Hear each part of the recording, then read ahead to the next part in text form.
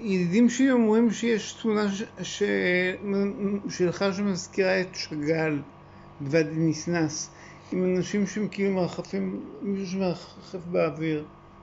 אגב, ישנו עוד ידיד אחד שאתה בטח מכיר, חברנו לשעבר המנוח יהושע גרוספלד.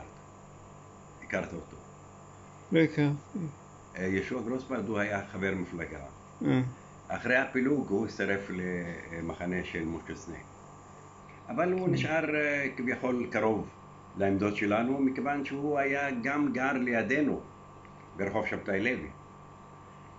אה, ישוע גרוספרד אה, הוא גם מתעסק בנושא של בתי ואדי ניסנס. הוא צייר הרבה תמונות, הרבה יצירות שנבעו מתוך השכנות שלו. הרי הוא גר בשבתאי לוי במרחק של 40 מטר מהירידה אל ואדי ניסנס.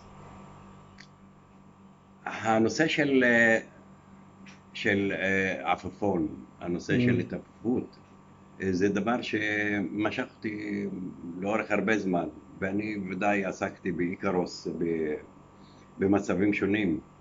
אה, Mhm. הרי איקרוס הוא בשבילי הדמות שמרחפת, אבל זאת אומרת היא לא מרחפת לשום אה, רכיפה, אלא, אה, אלא מרחף ל- לשום אה, ציון מקום שינוח.